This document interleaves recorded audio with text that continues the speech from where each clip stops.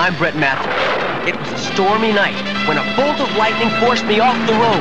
My car skidded into a government laboratory where a top-secret experiment was underway. I swerved into the path of Dr. Chase's molecular transfer ray, causing me and my car to become one.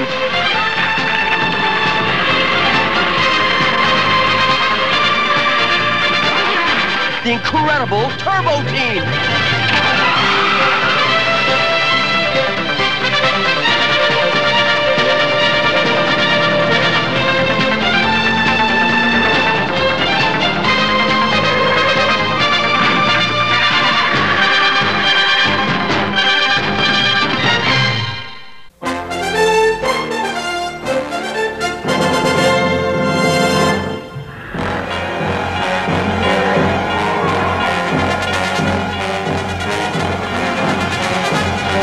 Na, das ist ja echt ein komisches Wesen.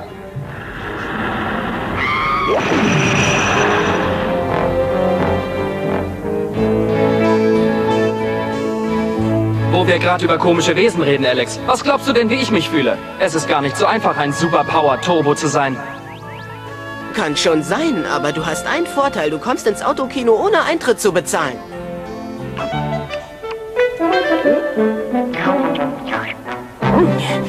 Komm bloß wieder, du Würstchendieb! So ein Mist, die Eiswürfel. Immer wenn Turbotin kalt wird, verwandelt er sich zurück in Brad.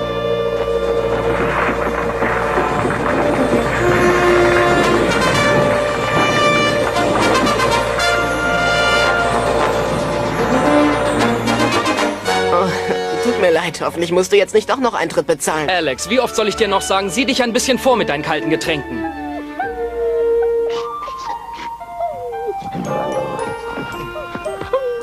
Ist schon gut, Rusty. Hoffentlich finden die Wissenschaftler bald raus, wie du immer du selbst bleiben kannst. Ich find's ganz schön doof, wenn ich dich bei der Strandparty auf dem Parkplatz abstellen muss. Wenn mir irgendwann irgendeiner helfen kann, Patty, dann ist es nur Dr. Chase. Sein Geheimlabor ist das fortschrittlichste und beste der ganzen Welt.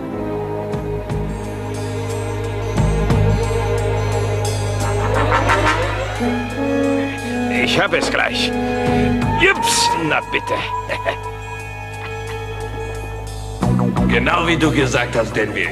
Wir haben hier eine wahnsinnige Elektronik. Wir holen uns das ganze Zeug, dann machen wir Millionen damit. Was mag da wohl drin sein? Sieht aus wie ein Auto. Das ist kein einfaches Auto, Kirsch.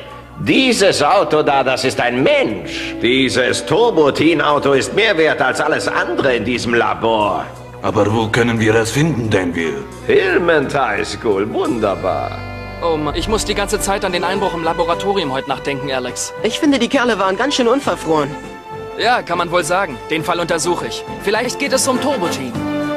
Du meinst, wir werden den Fall untersuchen. Falls du dich erinnerst, ich bin Redakteurin der Schulzeitung, mein Lieber. Hey, Brad, alter Freund! Wo ist dein schickes Auto? Ist heute die Versammlung der Stinker ausgefallen oder was, Eddie? Ehrlich gesagt, ich komme nur vorbei, weil ich dich fragen wollte, wann du den Spinner endlich in die Wüste schicken willst. Dann könnten wir beide uns auf der Strandparty mal richtig schaffen. Zieh Leine, mach einen Abgang. Nein! Keine Braut gibt Eddie Dirksen einen Korb und kommt ungestraft davon. Dieser Eddie geht mir total auf den Senkel. Er sollte mal zum Abgastest gehen. Da ist er. Er sieht aus wie auf dem Foto. Komm jetzt, Kirsch, den schnappen wir uns.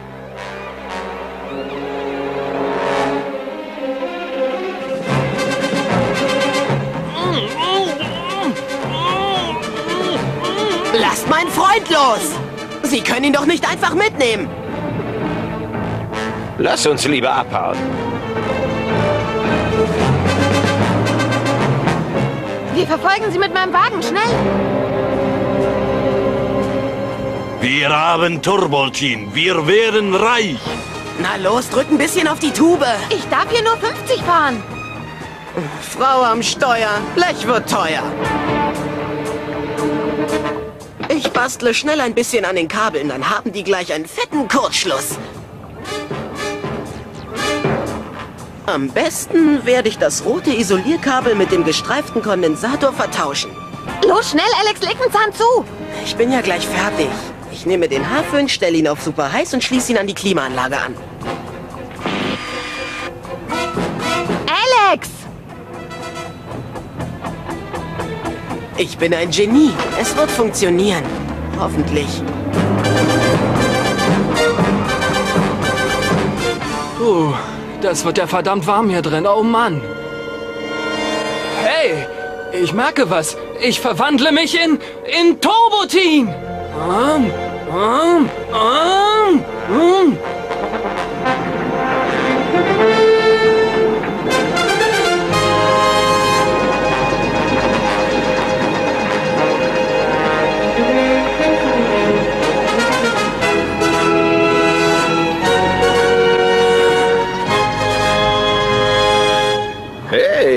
Was sagen mir da meine Lauscher? Ja, das hört sich wie ein Automotor an.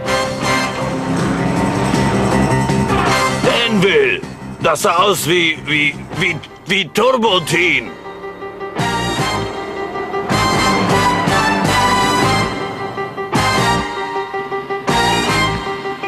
Hey, Turbotin! Hier sind wir! Bin gleich da, Patty.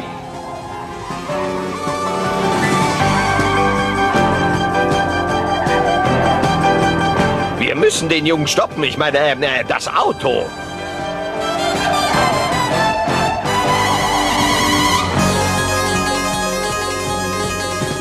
Ich habe erst noch eine Rechnung zu begleichen. Wir treffen uns dann im Einkaufscenter. Was hat er vor?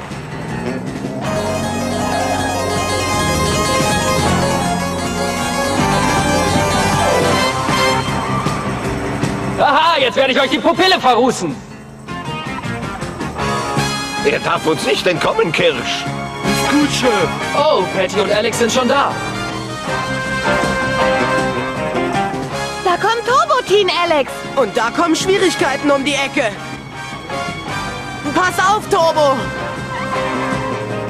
Nein! Ist außer Kontrolle geraten, schnell! Ich sollte lieber mal bremsen. Oh nein, meine Räder blockieren. Der Boden ist zu glatt. Ich, ich kann nicht anhalten. Oh Mann, was sollen wir bloß tun? Er ist ins Einkaufszentrum gefahren. Vorsicht, Vorsicht! Mama, ich will aber nicht das Spielzeugauto. Ich will das Auto haben. Er kann nicht bremsen.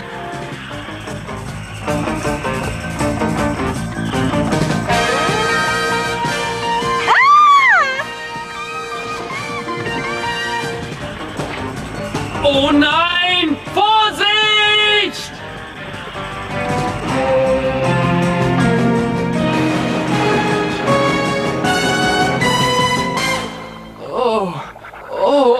Ist das kalt! Ah.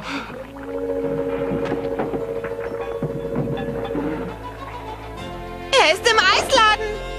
Kennt vielleicht einer einen Arzt, der einen Abschleppwagen hat? Das Auto erregt zu viel Aufmerksamkeit. Komm, Kirsch, wir schlagen später zu. Ach, Turbo, ähm, ich meine, Brad, ist alles in Ordnung? Geht's dir gut? Ja, mir ist nichts passiert, aber ich hasse Erdbeereis und mir, und mir ist furchtbar kalt. Hey, verdammt, wo ist denn das Auto? Auto? Ich sehe hier kein Auto. Seht ihr denn eins? Brad? Patty? Hey, Moment mal, und wer soll das alles hier bezahlen? Bleiben Sie cool. Bei so viel Eis wird Ihnen das ja leicht fallen. Ähm, schicken Sie die Rechnung an Brad Matthews. Er wohnt 257 Elm Street. Also haben die Einbrecher die Geheimakte über Turbotin bekommen. Ja, ich nehme an, die Männer von vorhin, das waren die Einbrecher. Hör mal, die Männer wissen sehr wahrscheinlich schon, wo du wohnst, Brad. Und wenn du dich heute Nacht in Turbotin verwandelst und draußen parkst, werden sie sich die Gelegenheit nicht entgehen lassen. Und wenn sie das tun, werde ich mir die Herrschaften schnappen. Also, wenn Turbotin hupt, dann sollen wir rausrennen, richtig? Ja, und wir müssen die ganze Nacht aufpassen. Wir dürfen nicht einschlafen. Wir müssen genauso wach sein wie Turbotin, wenn wir diese Gangster fangen wollen. Genauso wach.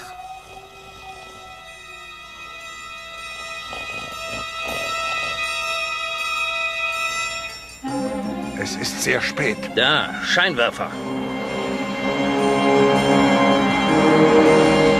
Hey, das ist Brads Auto. Ich zauber ein bisschen, dann kann dieser Hirni nicht mehr mit Paddy zur Strandparty fahren.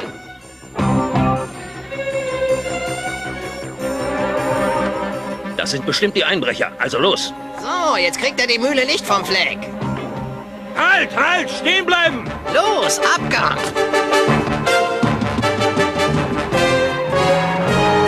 Sie dürfen uns nicht entkommen!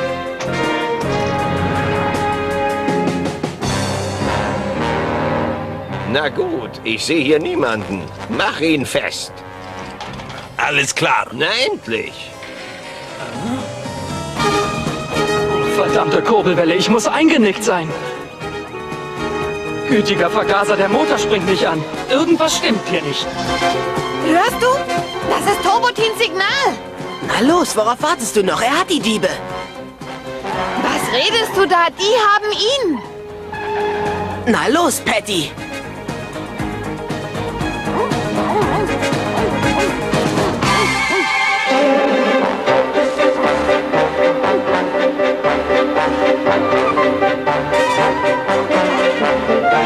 Dieser blöde Köter, geh aus dem Weg. Ich hasse Hunde. Das hast du gut gemacht. Los, wir müssen ihn vom Haken nehmen. Na schön, Schweinebacke, euer Spiel ist aus. Ich rufe jetzt nämlich die Polizei. Oh nein, das tust du nicht. Mit deiner Hilfe kriegen wir Turbotin zurück, mein Mäuschen. Du musst endlich anspringen, Turbotin. Die haben Patty erwischt. Keine Chance, meine Nockenwelle klemmt.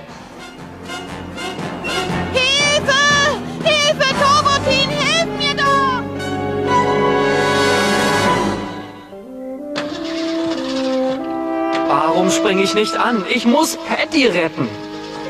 Hat alles keinen Zweck. Ich glaube, ich muss eine Notoperation machen. Was willst du denn mit der Zange? Sag bitte A. Ah, Ah ja, ein akuter Fall von Kabelsalat. Haben wir gleich. aua! Na bitte. Siehst du? Und ich habe gar nicht gebohrt. Na gut, na los, steig ein, wir müssen Patty suchen. Es bringt überhaupt nichts, wenn du dich wehrst. Sag uns jetzt sofort die Nummer von Turbotins Autotelefon. Du weißt doch sicherlich, was gut für dich ist, oder? Hallo, hier ist Turbotin. Wir möchten dich zu einer Party einladen. Und wir haben einen Ehrengast für dich. Komm nicht, Herr Turbotin, es ist eine Falle! Du hörst ja, deiner Freundin geht es sehr gut im Moment noch. Aber ich kann für nichts garantieren, wenn du nicht sofort zu der verlassenen Villa am Strand kommst. Wir fahren zu der Villa. Und zwar schnell!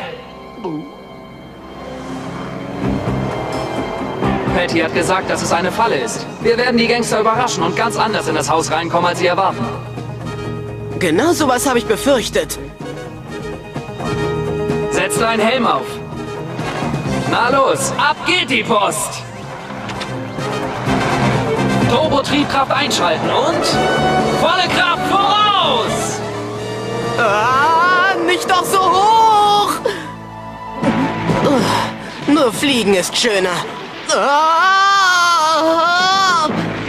Turbotin! Genau. Und jetzt her mit meiner Freundin. Ist unser Plan noch angesagt? Ich warne dich. Die Treppen hoch, der kriegt uns nie. Da werdet ihr aber ganz schön überrascht sein.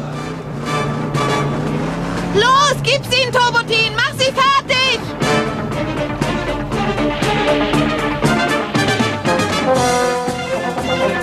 Kirsch, nimm den Kronleuchter.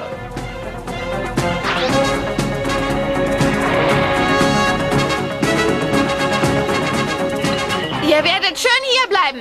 Loslassen! Schnauze! Oh nein, wird Patty denn nie lernen, wann es für sie gefährlich wird?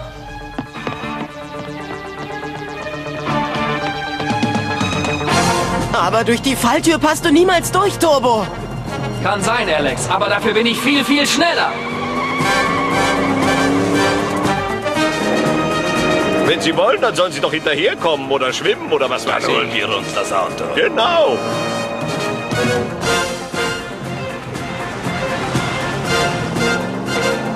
Die Gangster sind auf dem Kutter da draußen. Da ist ein Ruderboot. Für ein Auto ist das aber zu klein. Los, das wird schon gehen.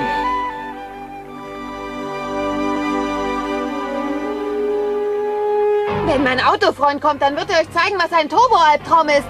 Na, so ein Brüller, du wiederholst dich. Wenn wir erst wieder zu Hause sind, verpasse ich dir eine Diät.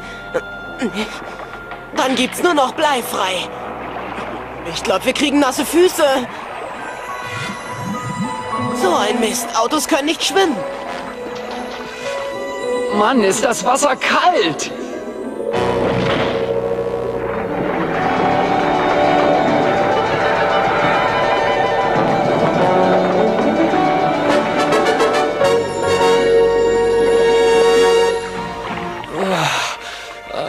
Ist viel leichter ohne Benzin äh, als ohne Luft. Ab zum Kutter. Wir müssen endlich Patty befreien.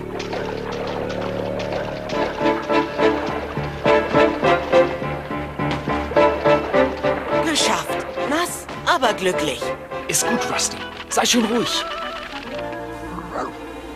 Ich sehe nirgendwo das Auto.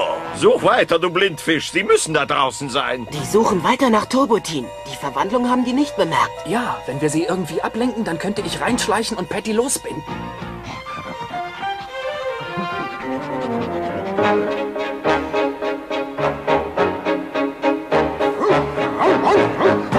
Der lebende Bettvorleger. Sie müssen an Bord sein.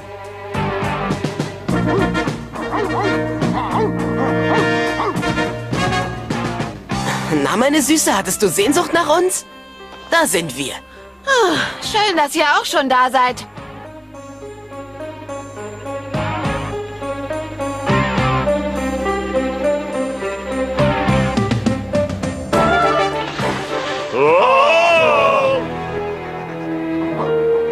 Sehr gut, Rusty. Es wird Zeit, schwimmen zu gehen, also los! Komm, Kirsch, wir nehmen das Motorboot.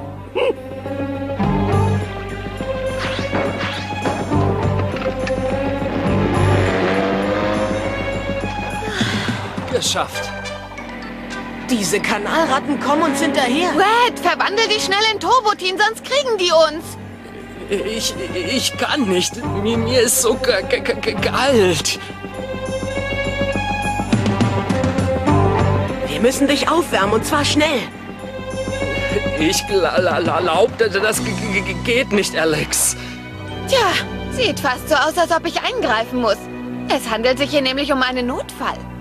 Oh, was machst du, Patty? Daran könnte ich mich richtig gewöhnen, könnte ich mich. Ist er wirklich verrückt? Brad wird schamrot, weil er einen Kuss kriegt. Oh oh, jetzt geht es wieder. Ich verwandle mich in Turbotin. Oh oh. Oh. Oh.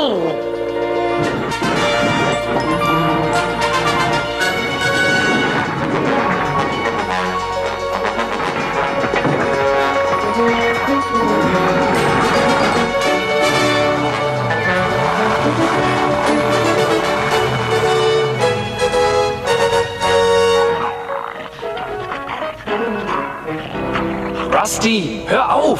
Ich bin's doch! Na los, steig ein, Rusty! Die holen wir uns.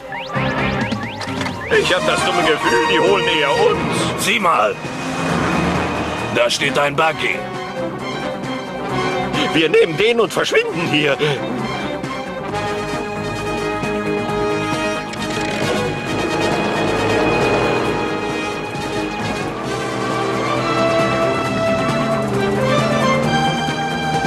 Red weiß bestimmt immer noch nicht, wieso seine Schüssel nicht rollt.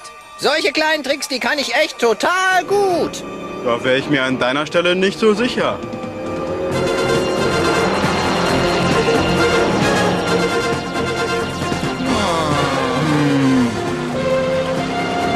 Schneller, sonst holen sie uns ein.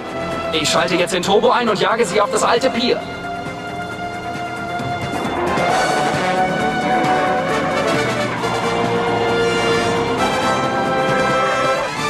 Wieder zurück.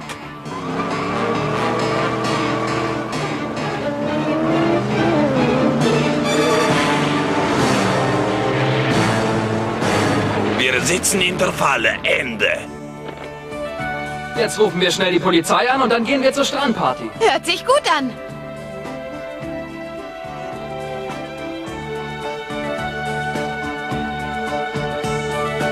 Agent Caldwell, Officer. Das sind die Männer, die ich gesucht habe. Aber Officer, ganz ehrlich, ich habe es mit eigenen Augen gesehen. Dieses Auto kann sich in einen Jungen verwandeln und, und, und dann wieder in ein Auto und, und, und dann... Äh, äh, äh.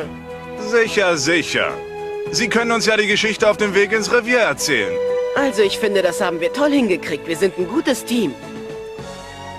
Und ich kann eine tolle Turbo-Team-Geschichte für die Schülerzeitung schreiben. Hey, Brad, willst du dein Hotdog lieber mit Senf oder mit Benzin? Oh Mann, Alex, Alex. Deine Witze werden immer schlechter. Aber es ist schwer, ein Mensch zu sein und ein Auto. Hey, Patty, gibst du mir mal das Öl? Äh, ich meine die Milch. Die, die, die Milch, die.